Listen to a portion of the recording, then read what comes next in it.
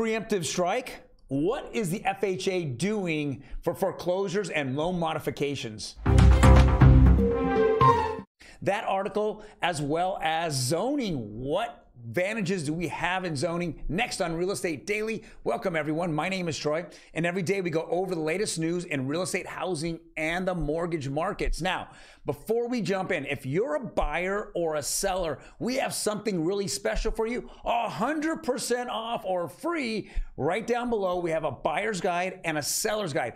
Anytime you're looking to buy a house or even sell a house, this guide will give you a step by step instructions and go over the entire process of buying or selling a home. It's down below. Hit the link and we can help you out.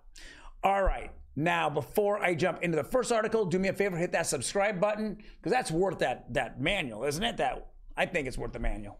All right. What is the FHA doing? Let's jump into this. FHA publishes final rule for 40 year loan modification.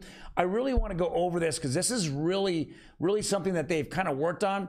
I'm going to go over this part right here. It says the FHA, Federal Housing Administration, announces this week that the final rule related to an increased 40 year loan modification term has been published by the Federal Register. The rule allows mortgages to increase the maximum term of an FHA insured mortgage loan modification from 360 to 480 months. That's that's from 30 years to 40 years following the following a default. So it's there's still a little cloudy on exactly what's happening here, but it looks like the FHA, if you have a default and then can show that you can make some type of payment, maybe you had a couple of months in which you had, you know, you were laid off or you were between jobs or there was a medical issue or something that's happening in your life, as long as you can show it, they're willing to take that that mortgage and then stretch it out even further, giving you a lower payment so you can stay in your house. Before we get into the next article, do me a favor, hit that like button. I really would appreciate it. Helps us grow this channel and it really gets our content out there to people who really need it. All right. So next article is zoning, and this is uh, this is a DS News. It says zoning is a key to improving affordability. Now, I completely agree here in Southern California, we're able to, to put together or have an ADU on our properties. Now, there are some restrictions there, but the government, our, our government, has kind of opened that up, and a lot of people kind of like that. Some people call it a granny unit. Other people can use it as a rental with on their property. You know, as long as you fall within the city and the city guidelines, like you know, eight feet away from the property line. That's kind of a very very big one. You know, having access. There's there's quite a, a lot going on, but I think it is the affordability, improving affordability, because if we can add more units on the, the, the land that we have now where homes are at, it's going to make it cheaper. Land is some of the most expensive real estate, obviously, in, in California. So land costs are just astronomical right now. And it's because a lot of builders and developers want to go there and they want to build, you know, fourplexes and they want to build up, straight up. And so if they're building straight up, the land is getting is is just becoming more and more, uh, you know, unaffordable for us, but more affordable for them because they're building so many units. I like again that ADUs are the hottest thing that's that's hit the market. Now, unfortunately, the last few years they've kind of I think they've kind of slowed down because the amount of contractors out there are so busy on so many projects that it's taking longer to put those together. But if we do go into somewhat of a recession or hit some rough, rocky times, and those contractors are out there, they're going to be more hungry to do the work and so are the so is the money that the, the counties and the cities are wanting you to get involved with.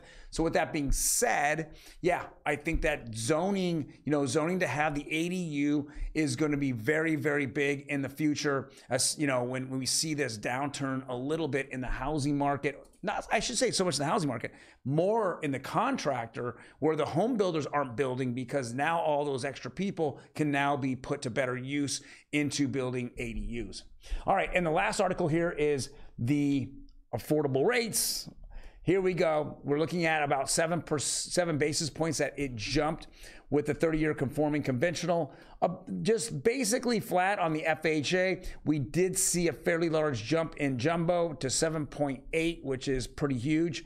So with those being said, you know, we're just seeing that uh, the, the majority of people are just getting used to these rates.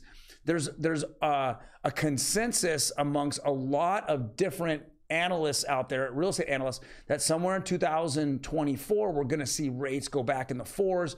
We'll see the Fed possibly pivot, even move down.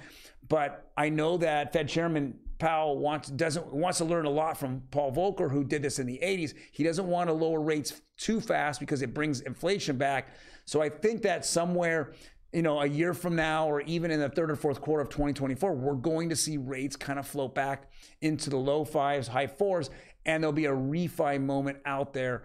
Hopefully, hopefully, we'll see also you know AI come in and start to really get into the mortgage uh, space and maybe cut rates down even further than that or or faster for us here in the in the real estate industry getting more buyers off the sideline because they're just scared of all the media that's going on and they're scared because rates keep going up.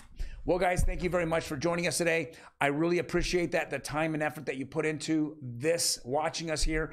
If you have any comments, please leave it below. Otherwise, again, I really, hopefully, I'll get you to hit that like button and yeah, take advantage of the home buyer's guide.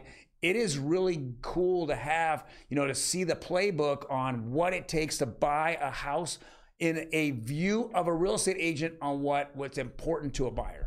You guys take care and I will see you tomorrow.